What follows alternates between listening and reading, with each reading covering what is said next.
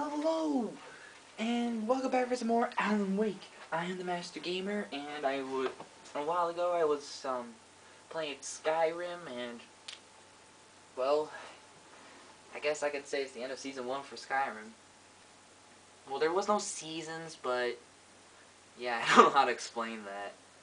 But anyway, I decided to play something else because usually I've been playing nothing but Skyrim. So I decided to continue Alan Wake. So yeah, let's continue. Okay, I'll be right over, Sheriff. Let's make this quick, huh? Help you folks? Name's Randolph. I'm the manager. Hi there. I'm looking for Rose. Works as a waitress down at the diner. Rose, sure. Nice girl. Who wants to know? I'm Alan Wake. The writer, huh? I heard on the radio you were busy. Well, I'll show you her trail.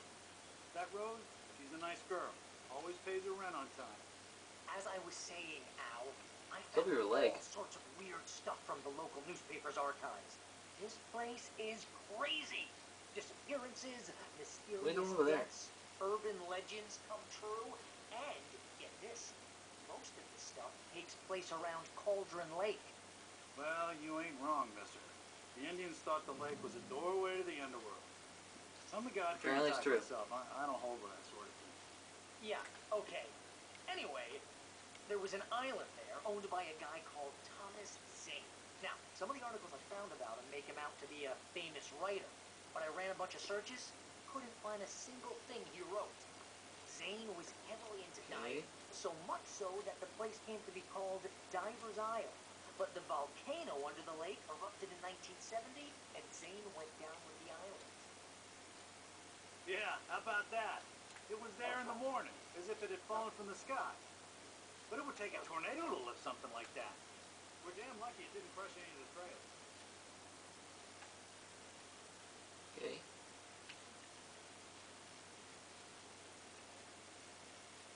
So uh, yeah.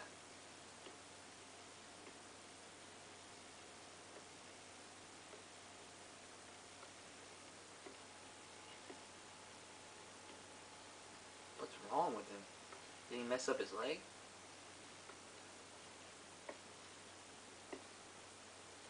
What's that weird noise? It gets better. A local girl, Barbara Jagger, drowned in Cauldron Lake just a week earlier. They were lovers. Sure, Jagger's a local Uh-huh. spook store. The Scratching Hag. Comes for you in the dark. Childish stuff like that. Anyway, Al, I'm just getting to the best part. Why do you keep call- saying like that? Why do you keep stuff calling were? Written by Cynthia Weaver. I asked around, and she's that crazy bag lady you met. What, the lamp lady? She can be a little loopy, but she's not homeless. Yeah, anyway, she knew Lamp both lady? Jagger and Zane before they both died, and she had some kind of a breakdown. Are we there yet?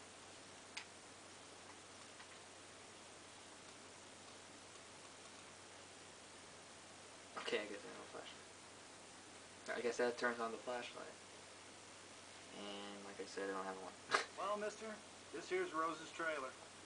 You mind me asking what you want with it? We're just here to talk to her, pal. Alright, come on, be nice. He has a messed up leg.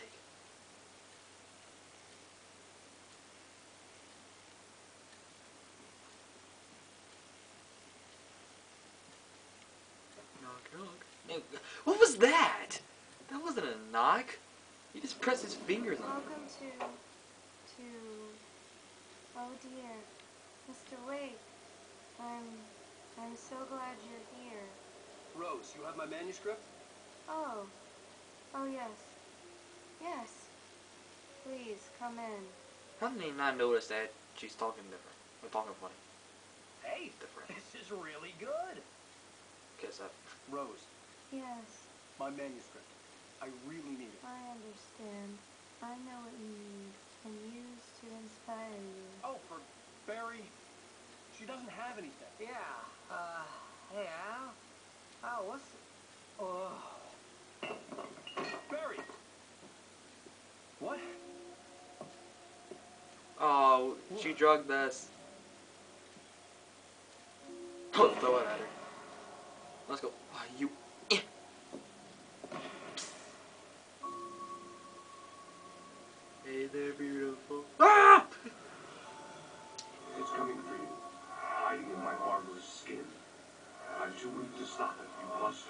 Lights on.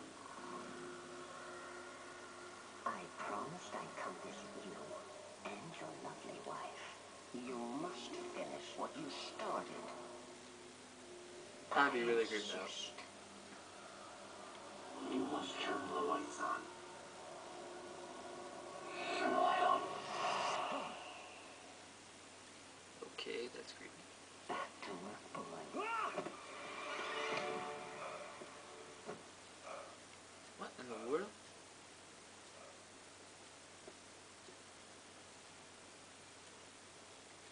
I felt nauseous, hungover. Only anger kept me going. I can't tell reality from dream anymore, but it seems I have an imaginary editor to help me. She's an old woman in a funeral dress. I call her Barbara Jagger. She's very strict. I- I'm writing faster and faster. My manuscript is being heavily revised. The edits are getting very aggressive, and each day there's less of me and more of her. I hate it, but I know she's right. She promises me I can save Alice this way. She knows more of this than I do. About the complex incantation I'm attempting. About this place. She's worked with another writer under similar circumstances, Thomas Zane. The genre of the story seems to be shifting. It's turning into a horror story. He's just looking at that. close. It's like that's feel just it. disturbing. Ah, a little elephant. Where's that a mammoth? I have to admit, not bad of a room, but it looks like it's a bedroom for a five-year-old. And she has a little um, Alan Wake shrine. and there's Barry. Rose took a day from me. I had less than 12 hours left to meet the kidnapper. All I could do was get Barry into the car, work something out once I got on the road. Welcome to the Oh Deer Diner. What can I get you today? Coffee? I couldn't work up much hate for Rose. Something had used her to get to me and left its mark. First refill is free. Milk and Uh. sugar on the counter there. Would you like to hear today's specials? Thank you. Have a nice day. Come back soon. You can hate. Oh, come on. That's just not nice to hate everybody you see that causes you one little problem.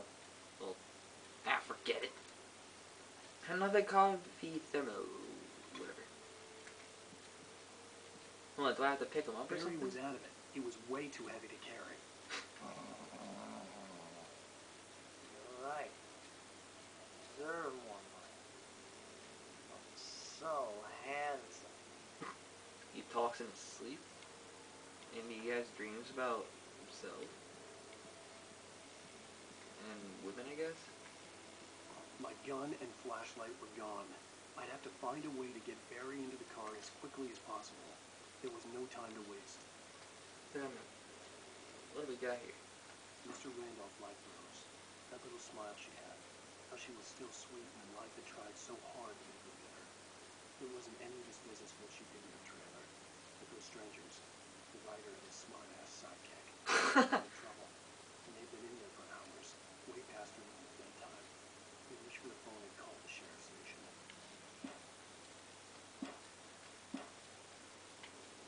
Okay.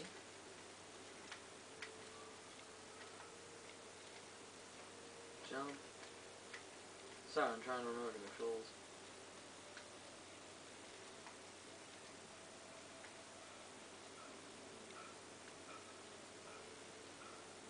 Okay, I remember the controls now.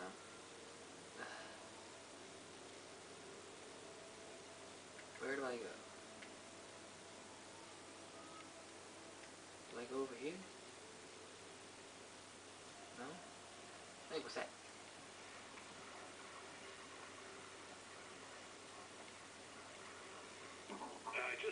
outside to catch a breath of fresh air, and let me tell you, the weather's getting heavy.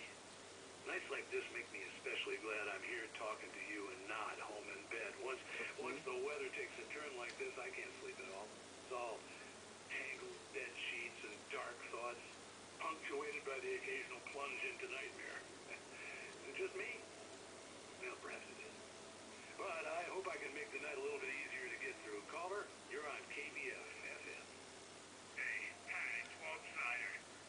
your mind, Walt? Ah, well, you know, forget it. I'm not wasting any time here.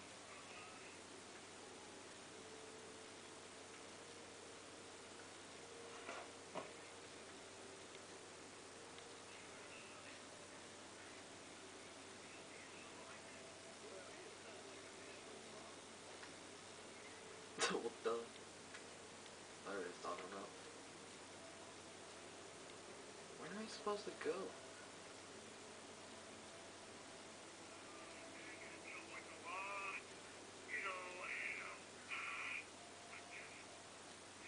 Well, I heard something like that, Walt.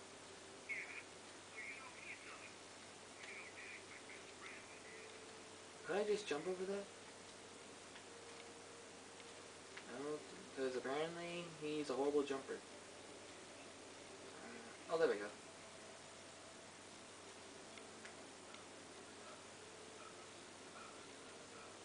Um, this is not good. Oh, you're gonna get it now.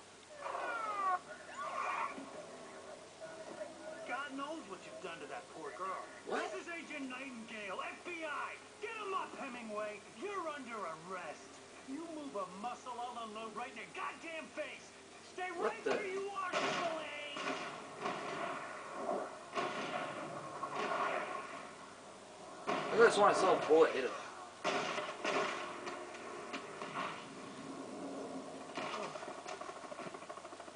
What are? I'm standing right here, you goddamn maniac. Okay.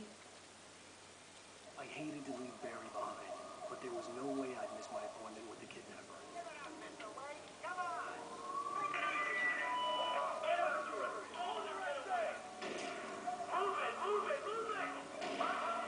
Uh, oh.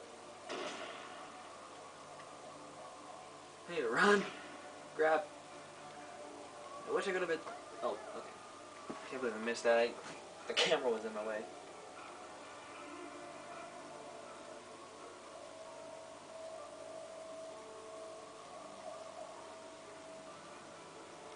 Run! Man, this is tr- trouble with the- authorities again.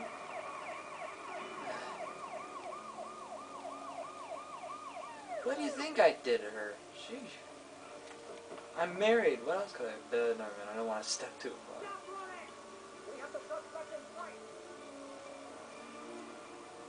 And he's just. Yeah. Oh, damn.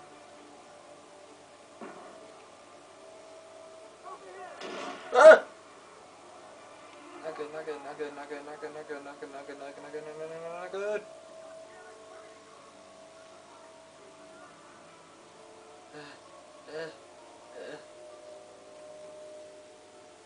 No.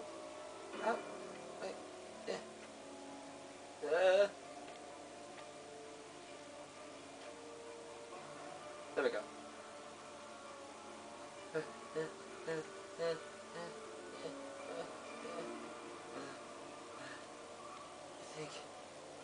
Okay. Ah, let's keep moving.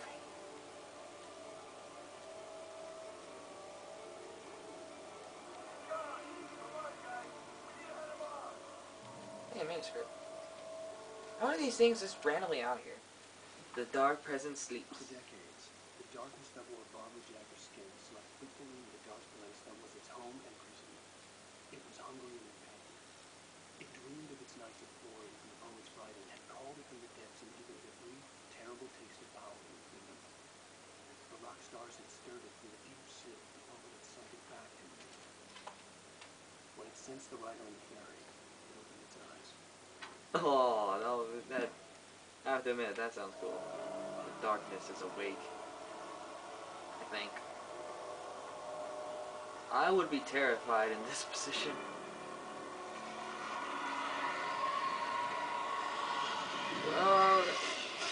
Whoa!